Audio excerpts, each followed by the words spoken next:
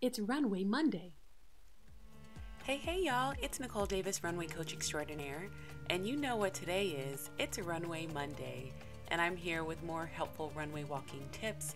And today's Runway Monday tip is all about how to walk in evening gowns with long trains and what to do with your arms. I love this Michael Cinco fashion show from a few years back because it has such beautiful gown design and there's going to be a lot of examples here for me to discuss. First off, if you have pockets in your evening gown, we want to see them. Show them off, place your hands in the pockets, keep your elbows back.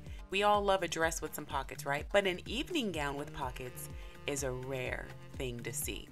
If you have a puffy evening gown, the key to this is to keep your arms back and don't swing them. You want to kind of tuck your arms behind the puffiness of the gown and let the gown do all the talking and you do all the walking.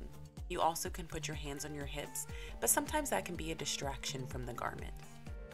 If you have a long dress, you have two options. You can kind of kick the dress forward as you walk to make sure that you don't step on the dress as you're walking.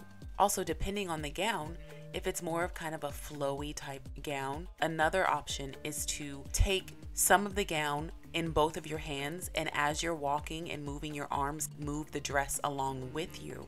That gives the dress movement and lessens the chance of you stepping on it as you're walking.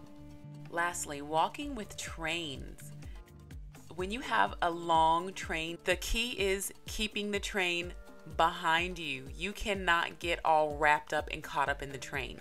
So when you're leaving the tip of the runway, you can't simply turn around and exit like you would in any other garment. In order to leave and to keep the train behind you, you need to make a U at the tip of the runway in order to exit. Thanks for tuning in to this week's Runway Monday. Come back next week for more helpful runway walking tips.